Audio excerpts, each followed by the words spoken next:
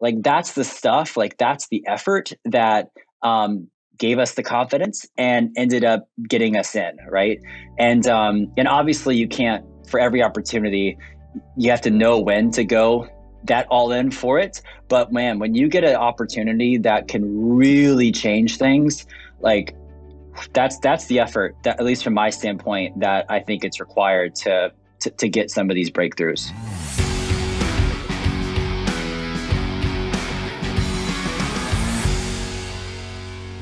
What's up, everybody, and welcome to the show today. We drop great content each and every week, and we want to make sure that you guys get notified. And in order to do that, you're going to have to smash that subscribe button and hit that notification bell. And if you've gotten a lot of value out of this, make sure you give us a like and share our videos with your friends. The mantra is we prepared well over 100 hours, probably close to 200 hours for a 10 minute interview, right? And it's just like, like that's the stuff, like that's the effort that um, gave us the confidence and ended up getting us in, right? And um, and obviously you can't for every opportunity, you have to know when to go that all in for it. But man, when you get an opportunity that can really change things, like that's that's the effort that at least from my standpoint that I think it's required to to, to get some of these breakthroughs. Well, I know many have heard mantras around, you know, build things that scale and automate everything and, and figure out the quickest way from point A to B. And it sounds like there's just a lot of blood, sweat, and tears along the way before you even get your foot in that door that I just don't hear many people sharing or glorifying. And it does lead people astray when they have their first failure, it doesn't happen as fast as they want, and then they give up. So it's it's so great to hear that story that you're sitting there manually updating page by page just so that the investor, the donation can register so that end user can feel the connection to the family, share it with their friends, see the impact right. they're having, and really grow in an unscalable way. You can't carry your laptop for 10,000 families and update it by hand. But you can prove it. And then I'll tell I'll tell one more. This is a really quick story. One more of those examples when we were actually going through Y Combinator. It was just me and my two co-founders, um, Matthew Marshall and Alexandria uh, and uh, and once we got out there, we moved to San Francisco. And I mean, we I've never worked so hard in my life for those three months. And uh, and we were fortunately now getting you know new customers or new donors every day, right? And there was a, a um, kind of a philosophy that the founder um, of Y Combinator talked about called his name is Paul Graham. And he said, it's better to have a thousand people absolutely love you than a million people kind of like you right as customers right and it's you know somewhat of like the thousand raving fans concept like similarly and so and he was talking about how when you're when you're just starting off one of your main advantages is you could do all these things that don't scale to create like real customer love, right? Or real donor love. And so what we would do is at the end of every day, it used to be at like nine o'clock, um, would usually have a glass of wine at this point, like in our little office. We would um, get out our, our computer and the three of us would stand shoulder to shoulder and we would film thank you videos for every donor that day you know, and it ended up being like probably, you know, 10 or 20 a day. And they were short, you know, less than a minute. But man, we did all those videos for at least our first thousand donors. And imagine their experience, right? Of I just gave, I get a personal video from the founders. And that's how we got a lot of our first like raving fans. And it's just, it's not rocket science. They don't teach you that at, you know, at Harvard Business School it's just putting it, it's being creative, it's being thoughtful, and it's being and it's caring, and it's actually just putting in the work. So it's caring, but it's also being in love with the mission. You have to be willing to fight for it, to go through all of this. When you know that the odds are stacked against you, when you know that there's better competition, when you when you know that the the odds are, are, against you. And it's like, well, I'm still going. I'm still preparing. I still, I'm still putting in 100 hours for this 10 minutes because I love this mission so much. You will be willing to sit there and make the thank you videos and all of that. And yeah, I, I, I love that. I mean, for for us and the and the work and the fighting that we have done over the last 15 years, I can relate to that so much, and, and it's a that's a big ingredient. That's not only loving it, but putting so much meaning behind that why. And with with your story and your mission, I mean, there is so many different moments of certain people's faces smiling and and being able to have a to, to create a family around that and to to lift up their experiences and enhancing their life. I mean, these are all great points. You can hang your hat on any one of those. Now, joining Y Combinator, there had to be a sense of self doubt entering that room. I mean, if the application process is so difficult, they take so few, then you're in and you're looking around at all these other incredible ideas and incredible founders who are talented and have maybe even some wins under the belt where you may not have paint us a picture of how you dealt with that self doubt and maybe even imposter syndrome of being in such an amazing experience. We drop great content each and every week, and we want to make sure that you guys get notified. And in order to do that, you're going to have to smash that subscribe button and hit that notification bell. And if you've gotten a lot of value out of this, make sure you give us a like and share our videos with your friends. By far, that was the most um, imposter. Like, if you were to level imposter, uh, if you were to measure the the level of imposter syndrome, that would be at an all time high for me, for sure.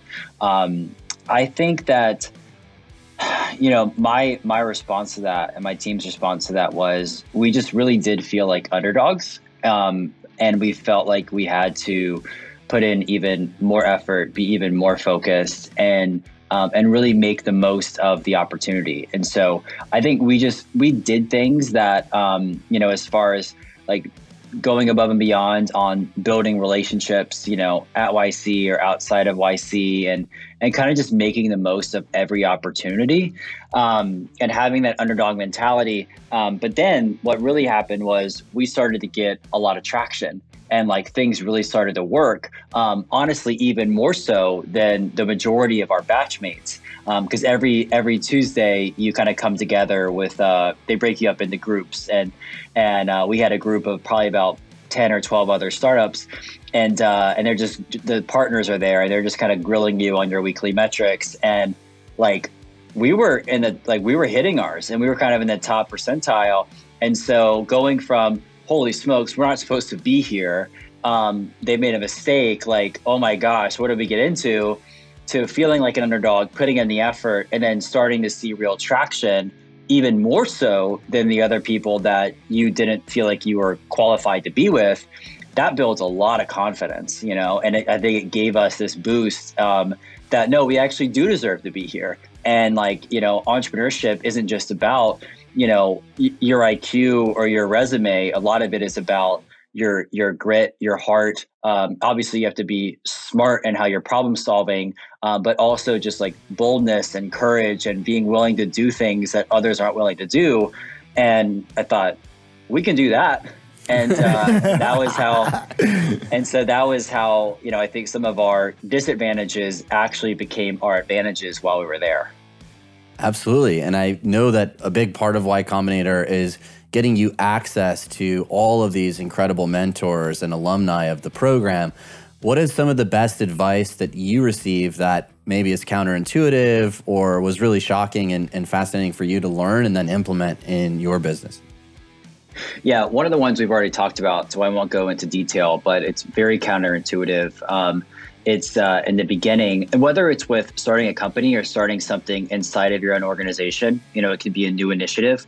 Um, the thinking is the, the the counterintuitive thinking is to do things that don't scale, right? Because you can get so programmed into designing something from scratch that has to perfectly scale, has to be perfectly automated, um, where if you could just get started on something so that you can learn and you can like make improvements and iterations and like start pushing up that that boulder up the hill um, that's one of them and anybody has the power to do that listening so that was one um, the other one was uh, um, Brian Chesky, who's the, the founder of Airbnb, came and spoke to us one night. And this was like almost six years ago. And I still remember it so vividly. And, you know, he was just talking about how um, all of the majority of you will undervalue um, and not invest into culture.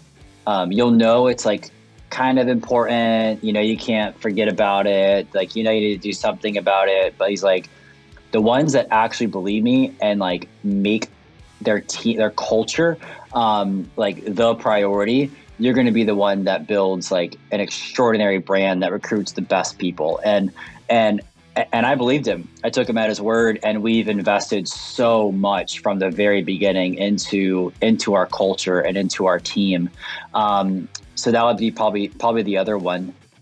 Yeah. Well, I think that's very important because that puts other people in alignment to want to fight for your mission, your goal, for that idea. Could you speak a bit about that to what things you did in the early days after hearing that to get everybody aligned and to make that happen? Yeah, sure. I mean, um, I'll kind of do high level, then I'll zoom in. So I, think the first part is um, you know, no matter how small of a team you're working on, you know, it could just be your co-founders like it was in the beginning. It could be even if you're not running your own company, but you're running you're running a, a team within teams. Like you, if you're in a leadership role or you want to be one day, like the good news is you have you have control over the culture, right? And and I think what um, what people don't do is they don't believe it's the most important thing. And so what that means is they don't actually invest into it. You know what I mean invest, I mean time and I also mean money, right? And and you try to you try to create an excellent culture or you want an excellent culture, but you're not willing to actually make the investment that's going to generate the return. And so, you know, from the beginning, we would um, you know, we always wanted to have like from the beginning, just like overpay for for benefits. Um, we would overpay for um, like offsites that we would do, uh, quarterly offsites. We still do them, um, which costs a lot of money and a lot of time, but man, what comes out of it is so amazing. Um, you know, different events that we put on, um, and, and yeah, and just like trying to listen to to team members and you know, if they are really, if we think it'd be a great opportunity to provide, um, you know, free uh, like mental health classes, like we'll do that, you know, and and it's like just not being afraid to to spend money on things um, because it's going to have a great return. So we've always done that. Yeah, that investment in culture keeps the amazing talent that you attract as well. Oh yeah, and in Absolutely. your space, you're competing against for profit companies that probably have bigger benefit packages, bigger things to offer their employees. So, culture has to be a focus for you to succeed.